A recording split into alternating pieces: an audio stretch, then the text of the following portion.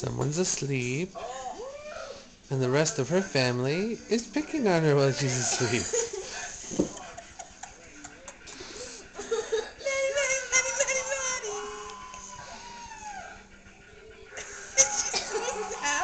Alright, hold on, hold on. Don't touch her. There we go. Normal face. Now go.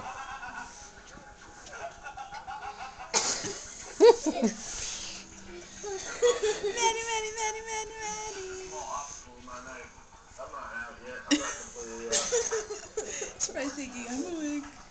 I'm awake. Look at that beautiful face. Poor sick little thing.